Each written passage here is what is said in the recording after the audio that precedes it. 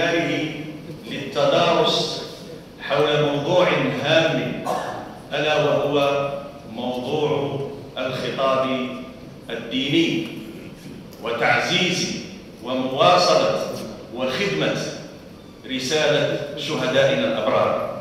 المجتمع ملاش أوصياء عليه المجتمع نرافقه المجتمع ننصحه نعظه. هذا هو خطابنا الديني خطاب رفق خطاب حكمة. خطاب يتميز بالاعتدال خطاب يتميز بالوسطية خطاب يتميز بالعلمية.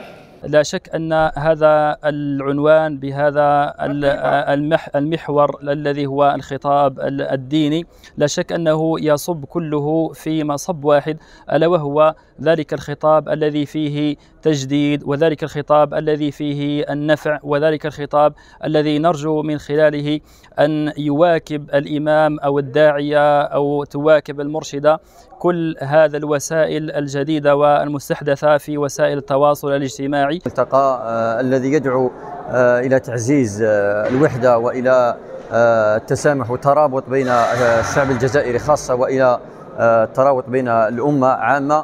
فهو يهدف إلى تعزيز رسالة المسجد والخطاب الديني الذي من خلاله يعني يدعو جميع الأئمة والخطباء من جميع الجهات إلى وحدة الوحدة الوطنية وإلى تعزيز هذه الخطاب الديني الذي يدعو إلى لم الشمل وإلى عدم التفرقة.